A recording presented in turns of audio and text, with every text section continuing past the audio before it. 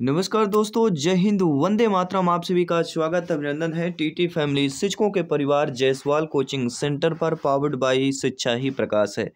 दोस्तों, आज का गोल्डन वीडियो होने वाला है। आज हम आपके जीन पियाजे जी की पूरी कहानी, पूरा निचोड़ बताने वाले हैं, क्योंकि आपको पता है, जीन पियाजे जी से कोई भी शिक्षक भर्ती टी के एग्ज़ाम हो, जीन पियाजे जी से अवश्य प्रश्न पूछे जाते हैं।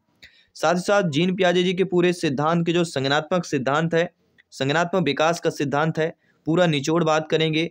कहाँ कहाँ से प्रश्न पूछे जाते हैं, किस टाइप से मॉडरेट प्रश्न पूछे जाते हैं, पूरा निचोड़ बात करने वाले हैं। साथ ही साथ इससे संबंधित टॉप क्लास के जो अभी तक एग्ज़ाम में पूछे गए प्रश्न हैं, सारे प्रश्न को भी करने वाले हैं। तो देर न करिए, शुरुआत कीजिए नोट्स भी आप लोग बना सकते हैं, ठीक है? और बाकी सभी क्लासेस चल रही हैं, जिसका आई ब्रेंड पे यहाँ पे ऑलरेडी लिंक दे दिया गया है। तो आप सभी लोग जानते हैं, पहले पेज से ही हमारे जो प्रश्न उत्तर शुरुआत हो जाते हैं। आप सभी जानते हैं कि जीन प्याजे जी का जन्म कब हुआ? 9 अगस्त उन्नीस अठारह को जीन प्याजे जी का जन्म हुआ। और इसके साथ साथ ये भी प्रश्न पूछा जाता है कि मृत्यु इनकी कब हुई? तो जीन प्याजे जी की मृत्यु जो है 16 सितंबर 1980 को हुई। साथ ही साथ प्रश्न पूछा जाता है, जीन प्याजे जी के कहाँ के निवासी हैं? इनका निवास स्थल क्या है? तो स्विट्जरलैंड के निवासी थे। साथ ही साथ संज्ञानात्मक विकास के सिद्धांत के जनक कौन है? तो जीन प्याजे जी हैं, आप सभी लोग जानते हैं। अब बात करेंगे अगले पॉइंट्स की, अगले महत्वपूर्ण बिंदुओं की, जो अक्सर पूछे जाते हैं। बात करेंगे जीन प्याजे जी की विकास की जो अवस्थाएँ हैं, इनके बारे में बात करेंगे। देखिए, अवस्था की अगर बात करते हैं, पियाजे जी के जो संज्ञानात्मक विकास की अवस्थाएँ हैं, यहाँ से प्रश्न अक्सर पूछे जाते हैं। और आप सभी लोग जानते हैं कि पहली अवस्था जीन प्याजे जी की संवेदी गामक अवस्था या संवेदी पेशी अवस्था, जो जन्म से लेकर दो वर्ष तक की अवस्था कहलाती है। दूसरी अवस्था है पूर्व संक्रियात्मक अवस्था, जो दो से लेकर सात वर्ष तक की अवस्था कहलाती है। इसी के साथ साथ स्थूल मूल संक्रियात्मक अवस्था सात से लेकर ग्यारह वर्ष तक की अवस्था कहलाती है। साथ ही साथ औपचारिक संक्रियात्मक अवस्था ग्यारह से लेकर पंद्रह वर्ष तक की अवस्था है और आपको पता है, जीन पियाजी की अवस्था से एक नंबर प्रत्येक टीटी एग्ज़ाम में हंड्रेड परसेंट पूछा जाता है। आइए बात करते हैं अब इन महत्वपूर्ण सिद्धांतों के बारे में। सिद्धांत के साथ साथ बात करेंगे जीन प्याजे जी ने अपने सिद्धांत में जिन पदों का विशेष बल दिया है, संप्रत्यय पर विशेष दिया है, वह आपके विशेष बल, अनुकूलन पर बल दिया गया है। सामधारण या संतुलन पर, संरक्षण पर, संज्ञानात्मक संरचना पर, स्कीमा पर, स्कीम्स पर या विकेंद्र पर। ये सात ऐसे हैं जिन प्याजे जी ने अपने सिद्धांत पर इन सात पदों पर संप्रत्यय पर विशेष बल दिया है। ये भी आपके इंपॉर्टेंट हो जाते हैं। इसी के साथ साथ ही अब हम बात करेंगे आपके जीन प्याजे जी के संज्ञानात्मक सिद्धांत को किस नाम से जाना जाता है? तो इसको विकासात्मक सिद्धांत भी कहा जाता है। क्योंकि जीन प्याजे जी के अनुसार बालक के भीतर संज्ञान का विकास अनेक अवस्थाओं से होकर गुजरता है। इसलिए इसे अवस्था सिद्धांत या स्टेज थ्योरी कहते हैं। प्रश्न आ गया कि स्टेज थ्योरी के प्रतिपादक कौन है? या अवस्था सिद्धांत के प्रतिपादक कौन हैं? तो आपका जवाब एक ही होना चाहिए। जीन पियाजे जी, जीन पियाजेट की बात करेंगे। और पहला ये इंपॉर्टेंट है, जीन प्याजे जी ने अपने बच्चों पर ही प्रयोग किया था। जी हाँ किसी दूसरे बच्चे पर नहीं, अपने खुद के बच्चे पर जीन प्याजे जी ने प्रयोग किया। ये एक महान मनोवैज्ञानिक की बात करते हैं, जीन प्याजे जी की बात करते हैं। और जीन प्याजे जी के आप सभी लोग जानते हैं, पहली अवस्था की बात करते हैं। जीन प्याजे जी की पहली अवस्था संवेदी पेशी अवस्था या इंद्री जनित अवस्था कहलाती है, सेंसरी मोटर स्टेज कहलाता है। इस अवस्था की अगर बात करते हैं साथियों, इस अवस्था में परिचितों का मुस्कान के साथ स्वागत होता है, यानी बच्चे जो है, अगर परिचित है उसके बच्चे के तो मुस्कान के साथ बच्चा उनका स्वागत करता है, यानी जब कोई भी परिचित उससे बोलता तो वह मुस्कुरा देता है। साथ ही साथ ज्ञानेंद्रियों की सहायता से बच्चा वस्तुओं को देखकर, सुनकर स्पर्श करके गंध के द्वारा तथा स्वाद के माध्यम से ज्ञान ग्रहण करता है। किसके माध्यम से ज्ञान ग्रहण करता है? ज्ञानेंद्रियों के सहायता से वस्तु को देखकर, सुनकर, स्पर्श करके गंध के द्वारा तथा स्वाद के माध्यम से ज्ञान ग्रहण करता है। साथ ही साथ इंपॉर्टेंट पॉइंट्स यह होता है कि वस्तु स्थायित्व का गुण भी इसी अवस्था में पाया जाता है। आज आइए बात करेंगे, अब आपकी दूसरी अवस्था कहलाती है पूर्व संक्रियात्मक अवस्था। फ्री में नोट्स पाना चाहते हैं, आज ही टेलीग्राम ग्रुप चैनल ज्वाइन कर लीजिए, जयसवाल कोचिंग सेंटर, लिंक आपको मिल जाएगी या सर्च भी आप लोग कर सकते हैं। देखिए, दूसरी स्टेज अवस्था है प्री ऑपरेशनल स्टेज, पूर्व संक्रियात्मक अवस्था। पूर्व संक्रियात्मक अवस्था में क्या होता है? जीवावाद जीववाद बच्चा सजीव व निजीव में अंतर नहीं कर पाता। प्रश्न आ गया कि पूर्ण संक्रियात्मक अवस्था में बच्चा नहीं कर पाता है तो क्या नहीं पड़ता है? सजीव और निर्जीव में अंतर नहीं कर पाता है। अगला है अहम केंद्रिता। देखिए, बच्चा यह सोचना शुरू कर देता है पूर्व संक्रियात्मक अवस्था में बच्चा दो से लेकर सात वर्ष की अवस्था कहलाती है। इस अवस्था में बच्चा जो है, सोचना शुरू कर देता है। जो वह कर रहा है, उसे सब ठीक लगता है। और खुद को सबसे ज़्यादा महत्व देता। है प्रश्न आ गया कि जीन प्याजे की किस अवस्था की विशेषता कि वह बच्चा खुद को सबसे अधिक महत्व देता है, वह पूर्व संक्रियात्मक अवस्था पर है। एक और बिंदु है आपका, आपके अपलटावी होता है। ये बच्चा वस्तुओं, संख्याओं आदि को उलटना पलटना नहीं सीखता है। ठीक है? ठीक है पलटावी नहीं होता है, अपलटावी होता है। ठीक है, पूर्व संक्रियात्मक। तीसरी अवस्था कि पहले हम बात करेंगे पूर्व संक्रियात्मक अवस्था में ही, इसमें सजीवता के गुण देखने को मिलता है। प्रश्न आ गया कि सजीवता के गुण जीन प्याजे जी के किस अवस्था में देखने को मिलता है? तो आपका जवाब होना चाहिए पूर्व संक्रियात्मक अवस्था, द्वितीय अवस्था में। अनुकरणशीलता की अवस्था कहलाती है। मुद्रा, भार, दूरी, ऊंचाई आदि में अंतर बच्चा नहीं कर पाता है।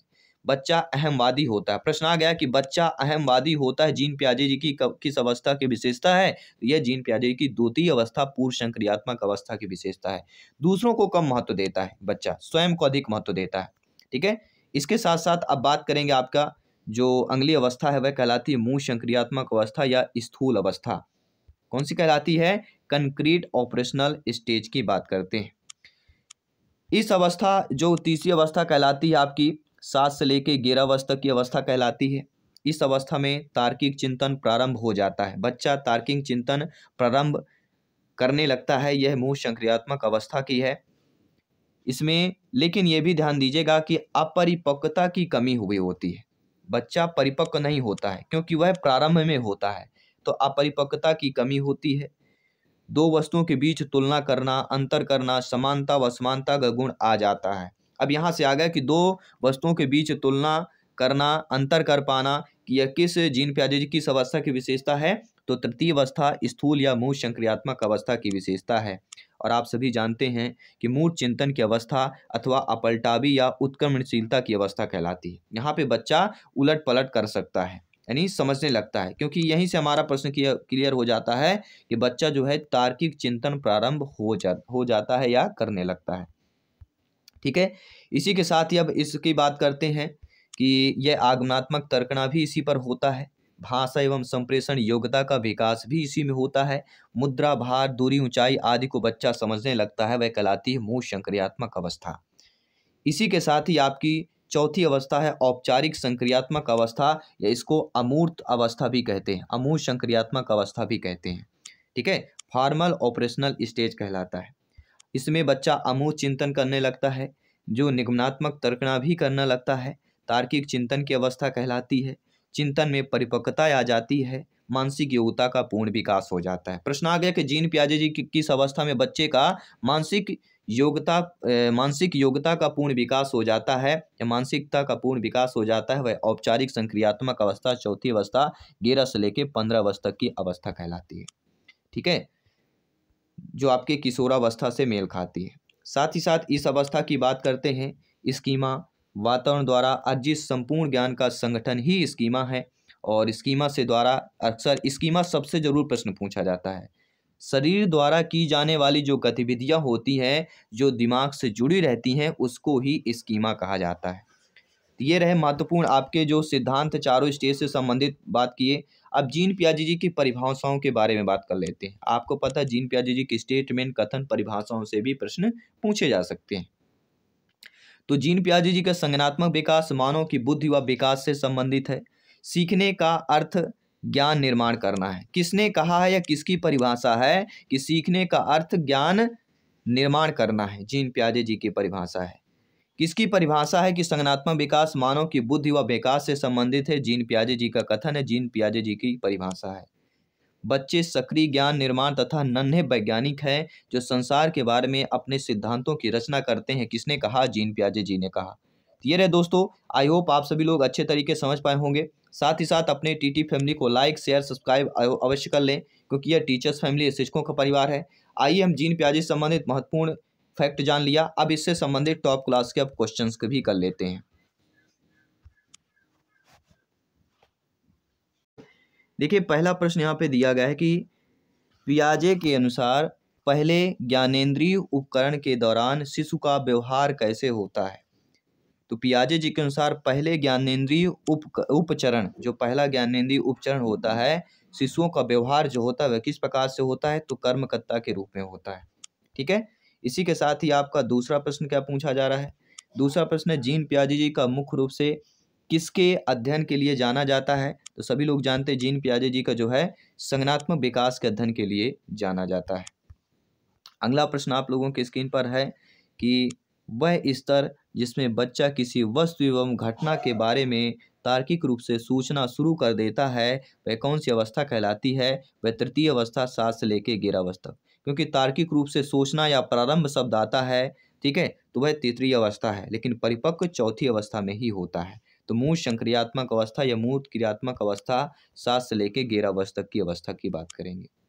जीन प्याजे जी के अनुसार अधिगम के लिए क्या आवश्यक होता है? तो जीन प्याजे जी के अनुसार अधिगम के लिए जो आवश्यक होता है, वह होता है विद्यार्थियों के द्वारा पर्यावरण की सक्रिय खोजबीन। क्या होता है? विद्यार्थियों के द्वारा पर्यावरण की सक्रिय खोजबीन जो है, जीन प्याजे जी में अधिगम के लिए आवश्यक होता है।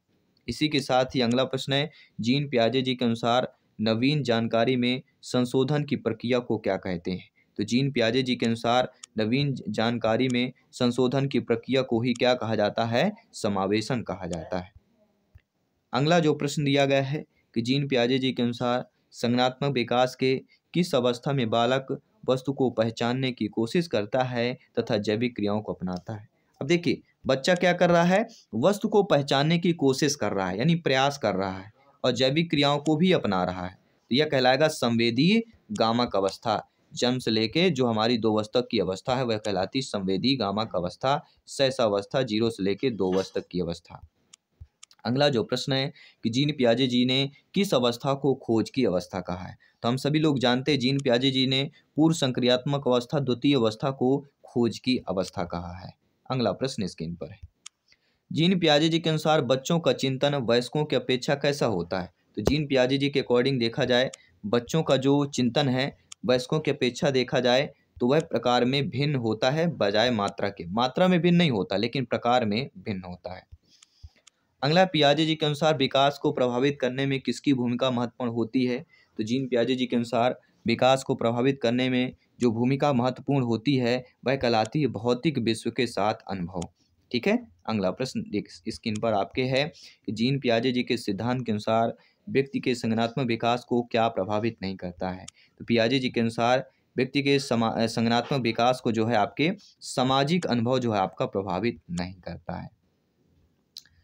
अगला प्रश्न है, अमूर्त वैज्ञानिक चिंतन के लिए क्षमता का विकास किस अवस्था की एक विशेषता होती है? तो अमूर्त वैज्ञानिक चिंतन की ये क्षमता का विकास जिस अवस्था के लिए विशेषता कहलाती है, वह हमारी चौथी अवस्था कहलाती है, क्योंकि अमूर्त का संबंध किससे होता है? औपचारिक संक्रियात्मक अवस्था या क्रियात्मक अवस्था की बात करते हैं। जीन प्याजे जी की चौथी अवस्था ग्यारह से लेके पंद्रह तक की अवस्था की बात करते हैं। इसी के साथ ही अगला प्रश्न है पियाजे जी के सिद्धांत के अनुसार बच्चा सीखता है। तो जीन पियाजे जी के अनुसार बच्चा कैसे सीखता है? तो अनुकूलन की प्रक्रिया द्वारा जो है बच्चा सीखता है। अगला प्रश्न है, पियाजे जी के संज्ञात्मक विकास के सिद्धांत के अनुसार संवेदी क्रियात्मक अवस्था कौन सी कहलाती है? चाहे संवेदी क्रियात्मक पूछा जाए, चाहे संवेदी गामक अवस्था पूछा जाए, जन्म से लेकर दो वर्ष तक की अवस्था कहलाती है। अगला जो प्रश्न है, पियाजे जी के अनुसार संज्ञात्मक बाल विकास की अवस्थाएँ कितनी हैं? तो पियाजे जी के अनुसार संज्ञात्मक बाल अवस्थाओं की चार अवस्था है। पहली, जन्म से लेकर दो तक की अवस्था, संवेदी, पेशी या गामक अवस्था। दो से लेकर सात तक की अवस्था, पूर्व संक्रियात्मक अवस्था।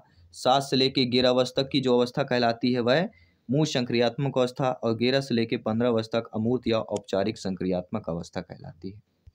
अगला प्रश्न है जीन प्याजे जी एवं लेव वाइगोस्की जैसे संरचनावादी अधिगम को किस रूप में देखते हैं?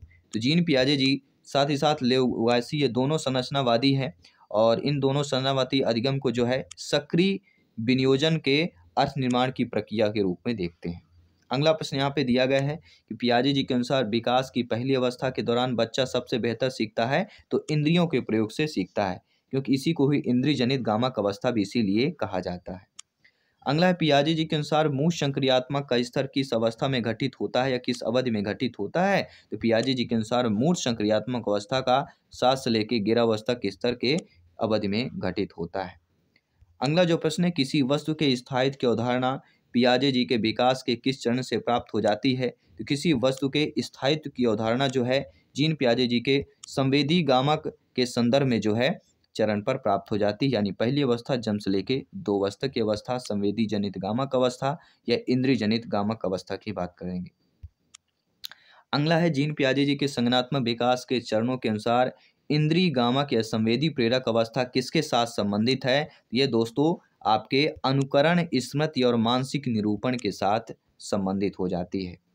अगला जो प्रश्न है, पियाजे जी के संगनात्मक विकास के सिद्धांत से नेतार्थ निकालते हुए ग्रेड सिक्स टू एट के शिक्षक को अपनी कक्षा में क्या करना चाहिए? आप सभी लोग भावी अध्यापक, अध्यापिकाएँ, या शिक्षक बंधु हैं। जब आपकी नियुक्त होगी, आपसे प्रश्न पूछा जाएगा कि पियाजे जी के संगनात्मक विकास के सिद्धांत के अकॉर्डिंग जो है, निहितार्थ निकालते हुए ग्रेड सिक्स टू एट के शिक्षक को अपनी कक्षा में क्या करना चाहिए? तो ऐसी समस्याएँ प्रस्तुत करनी चाहिए, जिसमें तर्क आधारित समाधान की आवश्यकता होती है। आइए आप बात करेंगे अगले प्रश्न की। किस अवस्था में सामाजिक खेल का विकास होता है? तो जो मूल संक्रियात्मक अवस्था होती, जीन प्याजे जी की तृतीय अवस्था होती है, सास से की गिरावस्था की अवस्था, इसमें जो है सामाजिक खेल का विकास होता है। अगला प्रश्न है, पियाजे जी के अनुसार दो से सात वर्ष के बीच एक बच्चा संगनात्मक विकास की किस अवस्था में होता है? तो संगनात्मक विकास की पूर्व संक्रियात्मक अवस्था में होता है। अगला जो प्रश्न है कि फ़ोन पर अपनी दादी से बात करते हुए समर्थ अचानक चिल्लाता है, यानी एक बालक चिल्लाता है, ओह, उस खूबसूरत फूल को देखो। जब उसकी दादी उसे फूल का वर्णन करने के लिए कहती है तो समर्थ कहता है, वहाँ, बाहर, वही दादी। आखिरकार यह निराश हो जाता है और फ़ोन काट देता है ये किसका उदाहरण होगा? इस प्रकार के एक प्रश्न ज़रूर पूछा जाएगा, यह ईगो अहम केंद्रण या ईगो सेंट्रिज्म का उदाहरण हो जाता है। अगला जो प्रश्न दिया गया है कि पियाजे जी के अनुसार मौजूदा योजनाओं में नई जानकारी को शामिल करने को क्या कहा जाता है? देखिए, कोई भी योजना अगर मौजूद है, उसमें कोई नई जानकारी जोड़ते हैं तो उसको क्या कहा जाता है? उसको ही अनुकूलन कहा जाता है। ये भी आपको ध्यान देना है। अगला जो प्रश्न है कि जीन प्याजे जी ने संगनात्मक विकास के अपने सिद्धांत को विकसित करने के लिए आंकड़े एकत्र किए। किसके लिए आंकड़े एकत्र किए? अपने बच्चे को देखकर। किसके बच्चे को देखकर अपने बच्चों को देखकर जो है, जीन प्याजे जी ने संगनात्मक विकास के अपने सिद्धांत को विकसित करने के लिए अपने बच्चे को देखकर आंकड़े जो है एकत्रित किए थे, अपने बच्चे के ऊपर खोज किया था। पियाजे जी के अनुसार सकारात्मक विकास की द्वितीय अवस्था कहलाती है पूर्व संक्रियात्मक अवस्था, दो से लेकर सात वर्ष तक की अवस्था, ठीक है? पूर्व संक्रियात्मक अवस्था की बात करते हैं। अगला जो प्रश्न है, जीन प्याजे जी के अनुसार प्रस्तुत संरक्षण के प्रत्यय से तात्पर्य क्या होता है? तो जीन प्याजे जी के अनुसार प्रस्तुत संरक्षण के प्रत्यय से तात्पर्य होता है, कुछ भौतिक गुणधर्म वही रहते हैं, चाहे बाहरी आकृतियाँ बदल जाएँ। अगला जो प्रश्न है, जीन प्याजे जी के संगनात्मक विकास के सिद्धांत की पूर्व संक्रियात्मक अवस्था का आयु समूह क्या कहलाता है? तो पूर्व संक्रियात्मक अवस्था का जो आयु समूह कहलाता है, हम कई बार ज़िक्र कर चुके हैं, दो से लेकर सात वर्ष तक की अवस्था का कहलाता है। Pre sensational pre sensational stage की बात करते हैं। नई सूचनाओं को पूर्ववर्ती विद्यमान मानसिक संरचना व्यवस्थित करना क्या कहलाता है? तो कोई भी जब नई सूचना होती है, उसमें पूर्ववर्ती यानी पहले से जो विद्यमान मानसिक संरचना है, उसको व्यवस्थित करना है तो उसको ही आत्मसातकरण। तो अनुकूलन को आपने समझ लिया, कोई भी योजना, उसमें नई जानकारी जोड़ते हैं तो अनुकूलन कहलाता है। और नई सूचना में जो पहले से विद्यमान मानसिक संरचना उसको व्यवस्थित करते हैं, उसको आत्मसातकरण कहा जाता है। और अगला जो है कि उत्तर बाल्यावस्था का काल कौन सा होता है? देखिए, सभी लोग जानते हैं बाल्यावस्था का काल छः से लेकर बारह वर्ष तक की अवस्था होता है, ठीक है? तो पूर्व बाल्यावस्था का काल छः से लेकर नौ वर्ष तक होता है, नौ से लेकर बारह वर्ष तक अवस्था जो है उत्तर बाल्यावस्था होता है। लेकिन अगर ऑप्शंस पे अगर आप छः से बारह दिया गया है, ठीक है? बाकी आपका नौ से बारह नहीं दिया गया तो फिर छः से बारह वाले ऑप्शन को करना है। अगर नौ से बारह दिया गया तो नौ से बारह वर्ष सही हो जाएगा। तो ये रहे दोस्तों, जीन प्याजे संबंधित हमने टॉप थर्टी क्वेश्चन किया। इसके पहले हम जीन प्याजे जी के महत्वपूर्ण जो संगनात्मक विकास है, पूरा निचोड़ बात किया। आई होप इससे संबंधित जितने भी प्रश्न पूछे जाएँगे, अब आपसे ए टू जेड बिल्कुल पूरे प्रश्न बनेंगे। ए टू जेड आपके बिल्कुल सही आंसर होंगे। मैं आपके साथ जयसपाल सर, मिलता हूँ आपके अगले सिद्धांत, अगली क्लास अगली वीडियो पर सभी मित्रों को जय हिंद वंदे मातरम धन्यवाद सभी